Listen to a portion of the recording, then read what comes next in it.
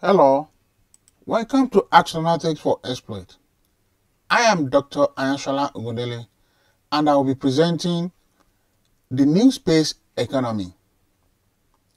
The overview of my presentation is as follows. Benefits of space exploration, the new space ecosystem, growth of global space economy, and future of space economy.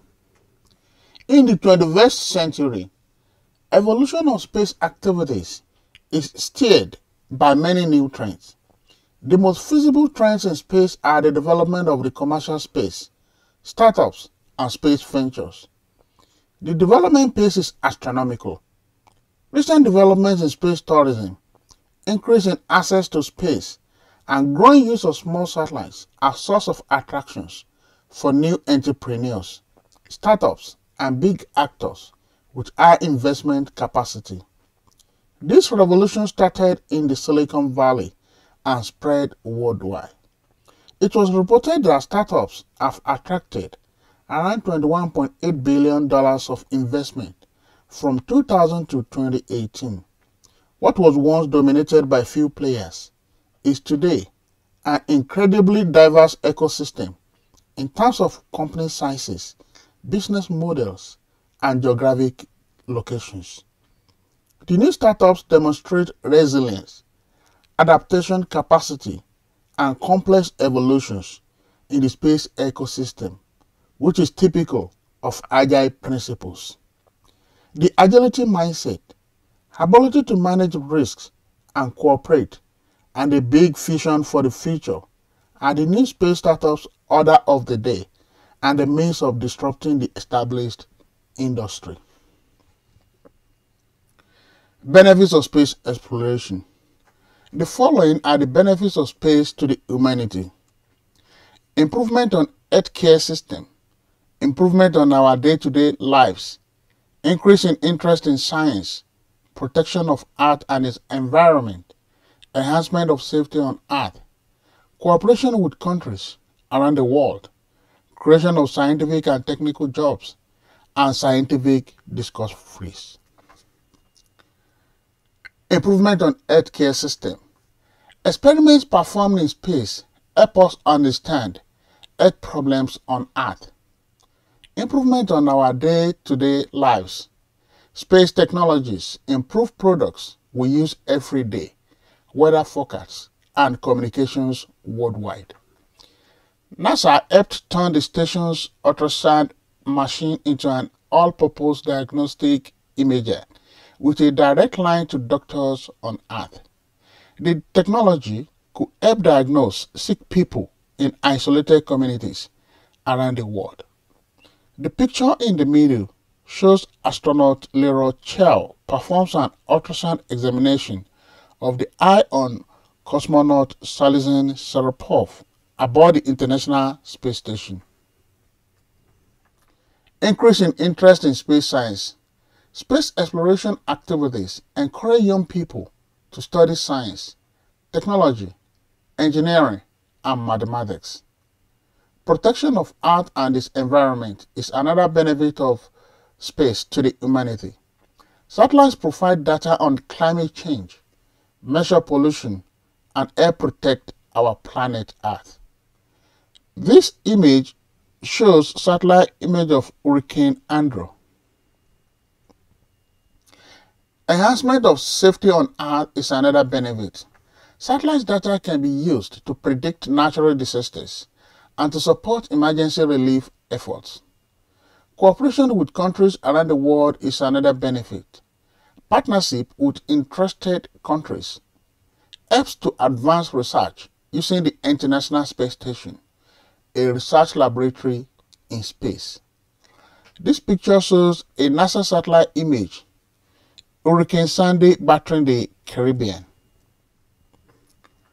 Creation of scientific and technical jobs. Both government and private space agencies and companies provide high-tech jobs for the people. And also, another benefit is scientific discoveries. Due to the exploration of space, a lot of scientific discoveries have been made. The picture here shows Parker Solar Probe, the high-speed probe, which discovered never before seen activity at the edges of the sun's atmosphere. The new space ecosystem. The new space. People, businesses, and organizations working to open the space frontier to human settlement through economic development is referred to as the new space. And this is given by the Space Frontier Foundation. The new space also refers to a new generation of space development, notably commercial. The new space is a global trend affecting all players involved in the new space race. The picture here shows Mars development concept for exploring, developing, and settling the red planet. The new space from agile mindset and perspective. So the agile mindset states that the emergence of a different ethos for space, where the established aerospace methods and business have been challenged by more entrepreneurial private sector by adopting more agile approaches and exploiting the latest commercial off-the-shelf technologies. The conceptual lunar railway system, which is called float, flexible levitation on a track, is given in this picture. Other names that are being used are as follows. Earth space, a new mindset and an alternative way of doing things in space funded by private investors' opportunities and challenges. Entrepreneurial space and commercial space. The picture here shows NASA's new low Earth orbit commercialization strategy, including offering a docking port on the International Space Station for commercial models. New space disruptive innovations. Disruptive innovation creates a new market and value network and eventually disrupts the existing one, displacing or even destroying established market leaders. The picture here shows settling of off-earth concept. Disruptive innovations are often initiated by outsiders and entrepreneurs rather than by existing market leading companies. A disruptive process can be longer to develop and it is more risky. But once developed, even with less performance at the beginning, a disruptive process can have a very fast and strong impact on the established markets and players.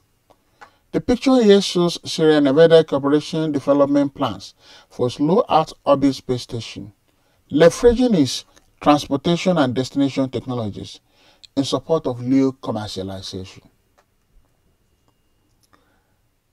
With the growing number of startups and space entrepreneurs, there is increase in the disruption of the old traditional way of working, thereby enabling the startups to, to reinvent and adapt their own models. The rendering of the Space Solar Power Alpha concept, which was developed by John Mankins, is shown in this picture. Attributes of new space. The main differentiators between old and new space are technology, business model, and company style. Traditional versus agile. Old space models follow a more traditional way of working, while new space models favor agile practices.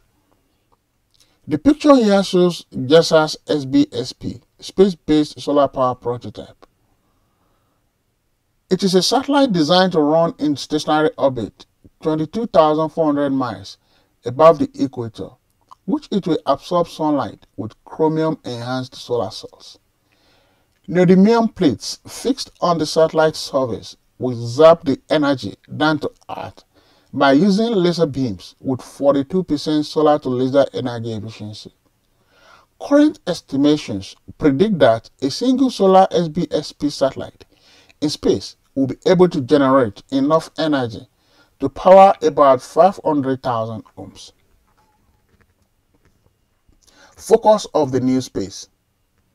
Services, pricing models, use of commercial off-the-shelf products, new approaches of reliability, incremental deployment, that is work before run, revised methods inspired by DevOps culture, co-design with customer and suppliers, flat and agile organizations. The picture here shows the European Sail Tower SPS, a light tower-like orbital system. By design, the satellite stays in orbit and generates electricity that is transmitted back to Earth via microwaves. Space ecosystem model. Generally, new space is considered as a standalone trend or as a revolution or disruption likely to replace past practices. The model shows the network of stakeholders involved in space activities and a list of new trends, evolution, or disturbances that can impact the ecosystem. The picture here shows a 1990 artist rendering of Space Station Freedom, a project that eventually evolved into the International Space Station. The picture here shows the new space ecosystem. The input to the space ecosystem are new nations, business models, actors, money, ways of working, policies, technologies, threats, value chains, needs, and markets. This represents the financial sources and regulatory activities. We have the credit insurance and bank, venture capital, who provides the financial sources, the regulatory bodies that regulate the activities, the national policies which actually create the policy for the ecosystem, the space and defense agencies. The most significant change is the growing role of private investors and venture capital in the space industry. New investors in space have various profiles, and the investment objectives are very different if made by business angels, venture capitalists, major industrial groups, that is, corporate ventures, young internet billionaires, or space enthusiasts. Business angels are more inclined to support the space activity of a startup on the middle to long term, while venture capitalists seek rapid financial results, e.g. exit opportunities. Led by Masayoshi Son, the giant Japanese conglomerate SoftBank and its Vision Fund, the world's largest technology fund, it's a very specific case. It invested about $1.5 billion in OneWeb, becoming largest shareholder. The credit insurance is also very important in export contracts. So all these go into satellite manufacturers. Also launch industry and services. They need the regulatory bodies, national policies, space and defense agencies for the activities, venture capital, credits, insurance, and bank. So in the ecosystem, we have commercial and institutional service operators, markets, and customers. How this it together makes the major players, stakeholders, and startups to be the markets and customers, satellite manufacturers, launch industry and services, commercial and institutional service operators. Space activities are usually related to public sector customers or governmental activities with rather long-term projects. The main assumption of new space is that there is an untapped potential in commercial space activities. The democratization of space implies that commercial interests play a leading role, or at least that resources of governments and commercial enterprises shall be combined for better efficiency. Main drivers of the new appetite for space activities are the new needs, which are global connectivity and digital transformation of the society. How the markets, including ISRU, in situ resource utilization, are fully new with longer term return on investment and large uncertainties on market size and accessibility. The satellite manufacturers in the telecommunications sector, an important trend is the emergence of several massive constellation projects in low Earth orbit, providing global internet connectivity worldwide. And the satellite manufacturers play a lot of roles in achieving this. So some of these companies are OneWeb, Starlink, and Leosat.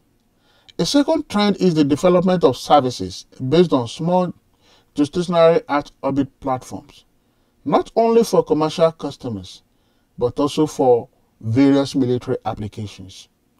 In Earth observation, the new space trend, also based on low Earth orbit constellations, is to provide IR revisit or even permanent video from space. This is the main differentiator with respect to the providers of very high resolution imagery.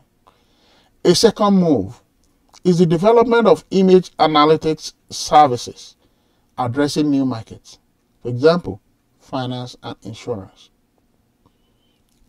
The launches and satellite industry. The main novelty is the increasing number of new private actors trying to disrupt the current supply chain with new approaches, smaller satellites, new orbits, and use of commercial off-the-shelf products.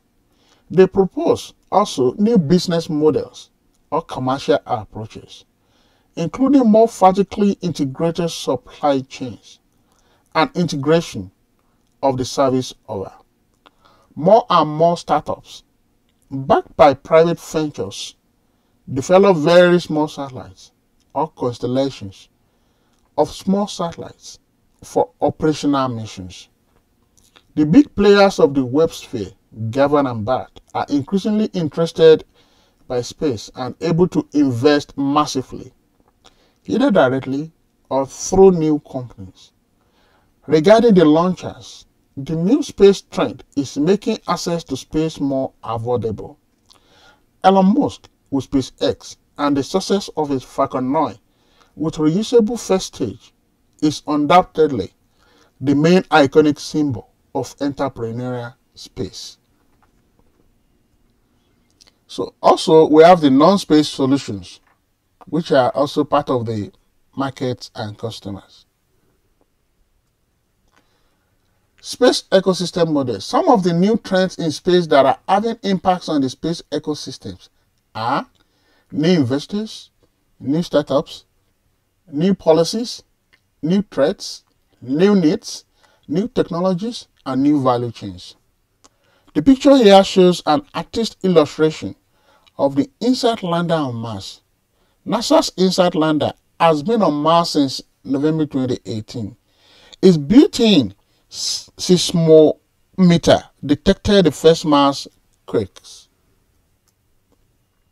The main components of the new space are the market and the customers, the space industry, including the primes and the supply chain, with both established companies and startups, the service operators, the financing sources, the nations, space and defense agencies, and the international bodies. The diagram here shows the capitalist space ecosystem. This is a project that was conceived to solve current needs for space exploration, focusing on avoiding dependency on Earth's resources, adaptation to new technologies, and maintaining life. Drivers of the new space economy. Satellite launch. The focus of the satellite launch companies is on research and development of technology and infrastructure that will enable them to send spacecraft to space for various purposes. Another driver is the satellite internet. Satellite internet companies focus is on improving connectivity through satellites. The picture here shows launching of SpaceX Crew Dragon from Cape Canaveral, Florida, atop a Falcon 9 rocket on March 2, 2019. This is the first commercial spaceship designed for humans ever to leave Earth. Another driver of the new space economy is the lunar landing. The focus of the companies into lunar landing is on missions to the Earth's moon building of infrastructures and products for Earth-moon missions. Another driver is Earth observation. Earth observation companies develop imaging, tracking, and analytic technologies for the monitoring of weather, climate, maritime data, and GPS technology. The picture here shows Blue Moon, the lander designed by Blue Origin to ferry supplies and eventually humans to the lunar service. Asteroid mining is another driver of the new space economy. The focus of the companies into asteroid mining is to develop technologies that will aid extraction of water, rare minerals, and metals from asteroids. Space debris is another driver. Space debris removal companies are into tracking and analysis of the human-made objects orbiting in the atmosphere. Debris is monitored so as to prevent collision with satellites and spacecraft or from falling to the earth. This picture shows a Japanese spacecraft, Hayabusa 2, landed on an asteroid after blasting it with a bullet in order to collect samples of subsurface rock. Space tourism is another point of focus and a main driver for the new space economy. The focus of the space tourism companies such as Virgin Galactic and Blue Origin, is to develop access to space for private citizens, space explorers, and space adventure programs. Space research is another driver. The people into space research perform research, exploration, and education about space and space technology. The picture here shows Virgin Galactic VSS Unity, designed for space tourism by Virgin Galactic. Manufacturing is another driver. The focus of the company into manufacturing is to design and develop spacecraft, hardware, propulsion systems, and engines. They form large sub-segment of the global space economy. Deep space exploration. The companies into deep space exploration develop high-level missions for the transportation of humans and cargoes beyond the Earth's atmosphere to the moon, to the Mars, and beyond. The picture here shows NASA's Deep Space Atomic Clock project. The super accurate timekeeping technology could one day serve as a kind of GPS in deep space. Now, growth of global space economy. Here, we have the major sectors dominating the global space economy. Products and services. This sector drives the majority of commercial activity in the space industry. These products and services meet specific needs in telecommunications, location-based services, and monitoring and observation. Another major sector is the infrastructure sector.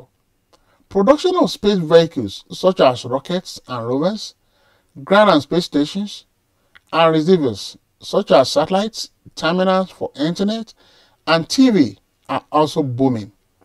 As the global population grows, our need to stay connected to each other evolves. Another major sector dominating the global space economy is also government sector.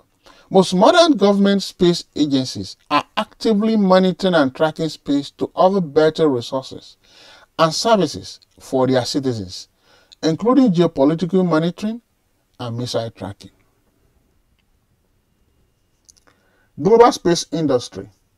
Morgan Stanley estimated that the global space industry could generate revenue of more than $1 trillion or more by the year 2040, up from $350 billion that is estimated to be currently.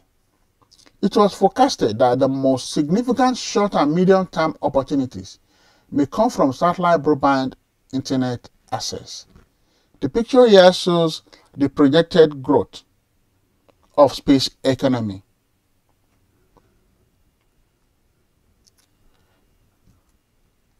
Now, Here we have 2019 state of the satellite industry and revenues. The global space economy in 2019 was estimated to be about $366 billion. And it is divided as follows. This section here is for satellite services, which was estimated to have brought in a revenue of about $123 billion. And the revenue are from the following telecommunications, remote sensing, science, and national security. Revenue for telecommunications came from television, telephone, broadband, aviation, maritime, road, and rail.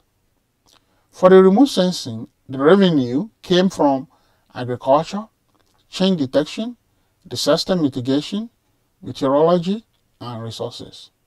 And for the science, the revenue came from earth science and space science.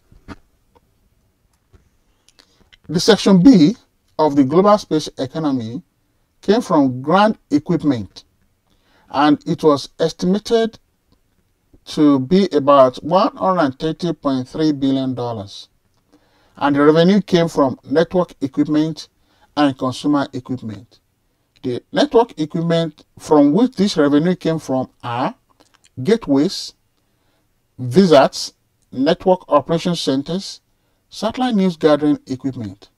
And for the consumer equipment, we have the satellite TV, radio, and broadcast equipment, global navigation satellite systems.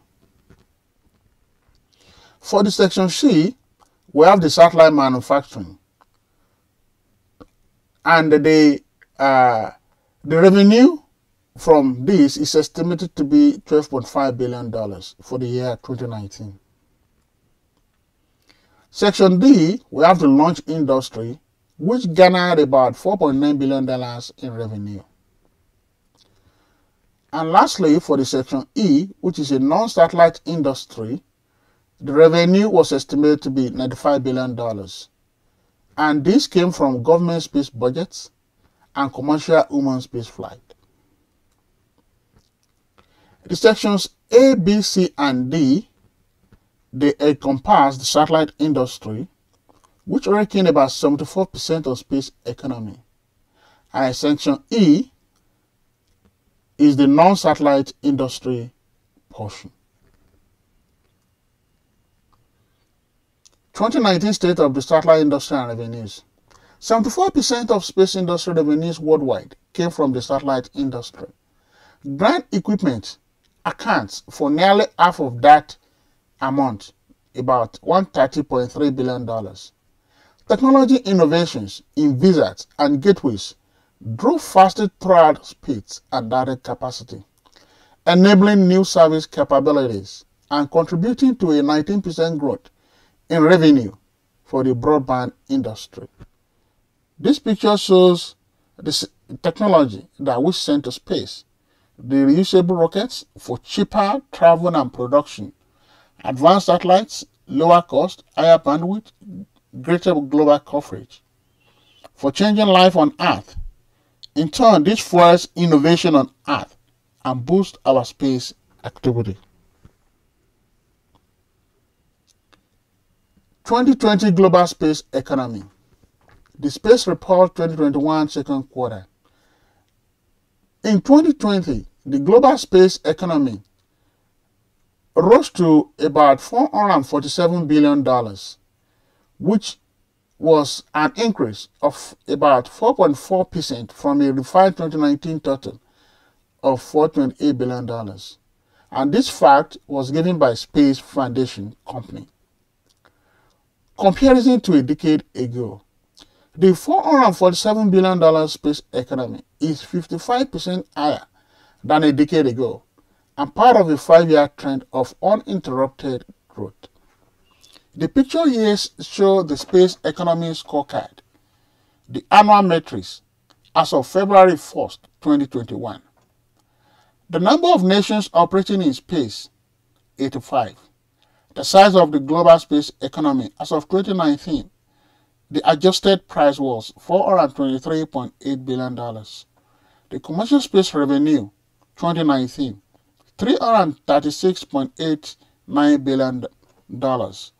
The global government space program spending 2019 about $86.9 billion. The US economic impact of GS, GPS since 1984 was estimated to be about $1.4 trillion. The number of payloads in orbit as of 2020 was estimated to be 6,589 and the number of global launch attempts by year 2020 was 114. And the notable numbers are 86,000 global space patents earned between 1996 to 2015, 9.3 million US STEM employment 2019, and 43 global spaceports. 18 of them are in development. The commercial space growth. Commercial space activity grew about 6.6% to nearly $357 billion in 2020, still representing close to 80% of the total space economy. Government spending on space. Global government space spending fell by 1.2% in 2020 to $90.2 billion from a refined 2019 peak of $91.4 billion. Nearly 58% of this total was allocated to space activities by the United States. The top three investors in year 2020 globally the top three investors in the global space economy remained in 2020 are United States, China, and European Space Agency. Collectively, these three entities constituted more than 81% of government space spending in 2020. These are from Space Foundation. The picture here shows the universe. Future of space economy. The potential areas of future advancement are as follows. Space services, assembly and manufacturing, propulsion and energy systems, space construction and robotics, agriculture in space, exploration of new ways to make things smaller and lighter, space services, assembly and manufacturing. Example of this is found in OSAM-1 on orbit servicing, assembly and manufacturing. A robotic spacecraft equipped with the tools, technologies, and techniques needed to extend satellite lifespans, even if they were not designed to be serviced on orbit, is the OSAM-1. During its mission, the OSAM-1 servicer will endeavor with grasp, refuel, and relocate a government-owned satellite to, to extend its life. This picture shows artist concept of OSAM 1. OSAM 1 capabilities can give satellite operators new ways to manage their fleets more efficiently and derive more value from their initial investment. These capabilities could even help mitigate the looming problem of orbital debris. This picture shows OSAM 1 satellite. Successful completion of this mission would demonstrate that servicing technologies are ready for incorporation into other NASA missions, including exploration and science ventures. This picture shows artist's concept of OSAM 1. Servicing technologies. The servicing technologies are as follows. Autonomous real-time navigation system, sensors, algorithms, and the processor join forces, allowing SN1 to rendezvous safely with its client. Another servicing technology is servicing a avionics. In addition to ingesting and crunching sector data, these elements control SN1's rendezvous and robotic tasks. The picture here shows various servicing technologies.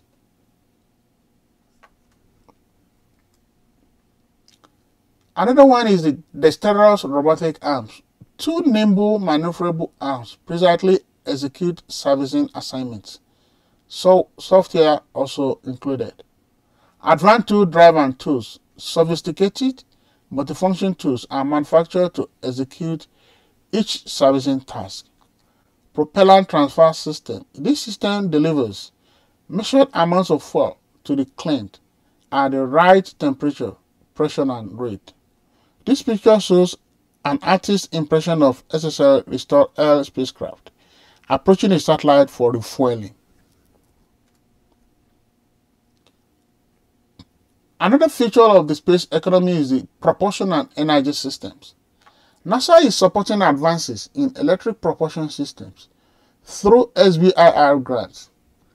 Why these are difficult to make, to scale on Earth and transport, in space production may be actually feasible.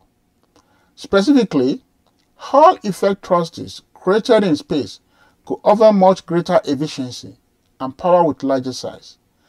Other new space developments in this area have to do with stored energy and battery innovations. This picture shows an electrically powered spacecraft propulsion system which uses electrical energy to change the velocity of a spacecraft. Space construction and robotics is another area of future of the space economy. The future of the space economy will require many items to be created in space rather than being shuttled from Earth. One such item involves a space launch pad, which NASA hopes to have on the moon. Several companies, such as Exploration Architecture, are pursuing construction systems designed to create bricks for this purpose. Using lunar dust as a resource, this company hopes to make moon bricks known as regolith brick. The picture here, here shows ISRU-based robotic construction technologies for lunar and Martian infrastructure. Agriculture in space. Being able to produce foodstuffs in space eliminates cargo while also inviting new production opportunities. One company interested in this is Bloomfield Robotics, which plans to advance its controlled environment agriculture. Experimenting with microgravity environments, the company is combining deep learning systems with multispectral plant imaging. Ultimately, they hope to scale agricultural production as part of the new space developments. This picture shows a NASA-designed inflatable greenhouse for cultivating green things on the red planet. Exploration of new ways to make things smaller and lighter is another feature of the space economy. The future of space economy is also dependent on constantly exploring new ways to make things smaller and lighter.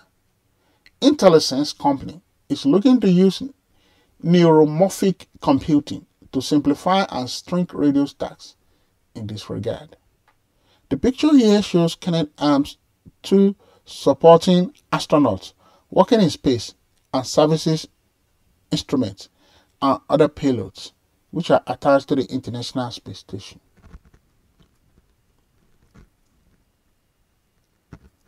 For more information, contact Astronautics for Exploit. You've been watching the New Space Economy.